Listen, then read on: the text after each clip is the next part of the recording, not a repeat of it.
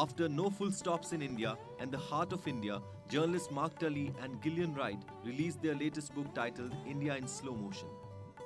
The book, which pays homage to India, is a travelogue of sacred places in the country.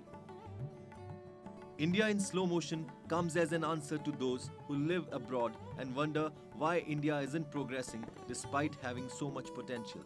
The book is really about uh, um, our belief uh, that India has enormous potential, but that uh, this potential is not being realized. And that's why we call the book India in Slow Motion. And uh, we believe that the potential is not being realized because of the problem of governance and that the most urgent issue for India to address is the issue of governance. Without becoming an overweight digest, the book discusses everything from IT boom to Hindu extremism, from Naidu's e-governance to Sufi mysticism, thus bringing the country and its people brilliantly alive.